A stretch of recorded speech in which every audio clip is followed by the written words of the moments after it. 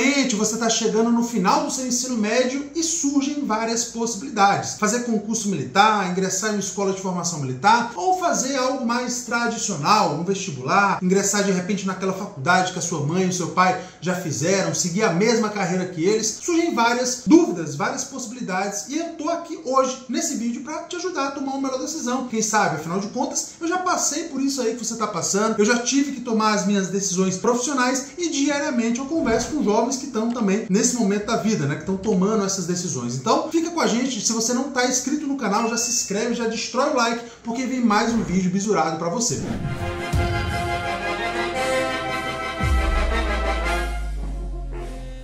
E aí, cara, você vai fazer concurso militar ou você vai ingressar em uma faculdade através de um vestibular? Eu quero falar com você nesse vídeo sobre as semelhanças e as diferenças entre esses dois caminhos. Aliás, esse vídeo aqui pode ser um vídeo bem legal para você mandar para seus pais, para que eles entendam melhor os motivos que te levaram a tomar uma ou outra decisão. Primeira coisa que você tem que entender é o seguinte: militares. Quais são os tipos de militares que existem? Existem dois tipos de militares: os militares temporários e os militares de carreira. O militar de carreira é aquele que ingressa através de concurso público. Ele é um militar que ele vai passar a vida toda, vamos dizer assim, né? ele vai seguir uma carreira dentro do exército, da marinha ou da aeronáutica. Ou seja, para ingressar na carreira, ele tem que fazer um concurso público. E esse concurso é muito semelhante a um vestibular. Ou seja, quando você quer entrar numa faculdade, você faz o quê? Você faz um vestibular, correto? E quando você quer ingressar na carreira militar, o que, é que você tem que fazer? Você tem que fazer um concurso público. Quando você passa no vestibular, você entra numa faculdade. Ótimo. E aí você vai estudar lá, depois que se formar, você vai procurar emprego e tudo mais. E quando você passa no concurso público, o que é que acontece? Você não entra numa faculdade, você entra numa escola de formação militar. Muitas dessas escolas de formação militar, elas são faculdades. Ou seja, quando você se formar nela, você vai receber o seu diploma de nível superior. Por exemplo, quando eu me formei na Academia Militar das Agulhas Negras, eu recebi o meu diploma de bacharel em ciências militares, que também é equiparado à administração. Ou seja, eu me formei lá, recebi o meu diploma. Agora aqui a gente tem algumas diferenças que são muito importantes. Primeira delas, quando você ingressa numa escola de formação militar, você já é um militar. Então, passei no concurso, eu já sou um militar e eu estou iniciando ali a minha formação. Né? Eu, tô, eu dou início à minha formação, por isso sou um militar em formação. Mas você já está na ativa, você já recebe seu salário, você já tem assistência médica odontológica, você já tem ali uma proteção da carreira, né? Inclusive, para caso alguma coisa ali aconteça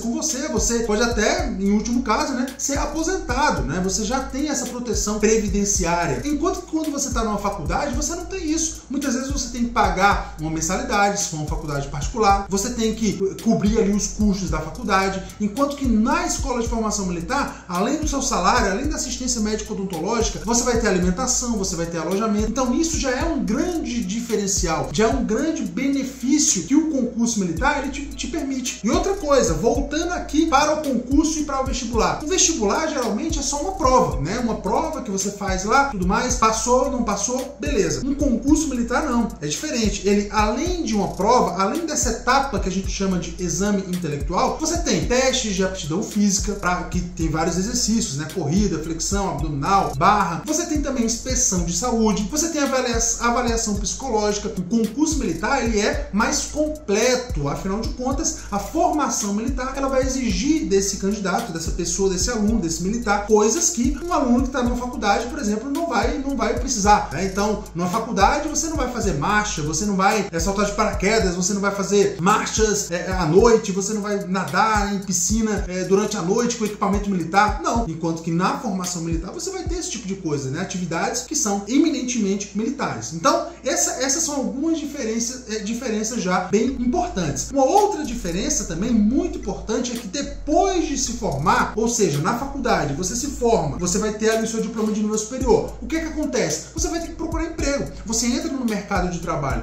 Enquanto que na escola de formação militar, não. Você já tem o seu emprego garantido. Você já tem ali a certeza de que não vai precisar procurar emprego, porque você já está dando início à sua carreira. Então, me formei na MAN, você vai ser promovido a aspirante oficial, você já vai dar início à sua carreira, você não vai ter que procurar emprego. Essa também já é uma grande diferença, né? Inclusive, muito importante nesses tempos que a gente vive no país, né? De incertezas econômicas, muitos jovens, inclusive, eles estão procurando a carreira militar por isso, né? Por uma estabilidade maior, por uma segurança financeira maior, tá bom? Então, diferenças e semelhanças muito importantes, tá? Para você entrar numa faculdade e para você entrar numa escola de formação militar, você tem que fazer um, um, uma prova, né? Porém, lembre-se, concurso militar não é só uma prova, você tem que fazer também as outras etapas. Quando você está numa escola de formação militar, você tem todo um, um aparato ali, né? Você tem assistência médico-odontológica, sua alimentação, você tem tudo isso, né? Seu salário todo mês cai ali na sua conta, enquanto que você está na faculdade você não tem isso. E outra diferença também é que quando você se forma na, na, na Academia Militar das Agulhas Negras, na Escola de Sargento das Armas, na Escola de Especialista de Aeronáutica, ou seja, quando você se forma em uma escola de formação militar, você já dá início à sua carreira. Você não tem que procurar emprego, enquanto que na faculdade,